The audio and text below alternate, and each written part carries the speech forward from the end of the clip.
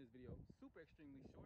Lewis the Wagner and the Dream guys, we are doing and looking at my dream job, which is construction. So we got a lot going on over there, and we're gonna go ahead and start applying. So why not now? I think right here is their um. I don't know what kind of office that is, but I think that's their office. And I actually like what they got. So I am tired of applying all the time, but I hope they just go through this time. I really do.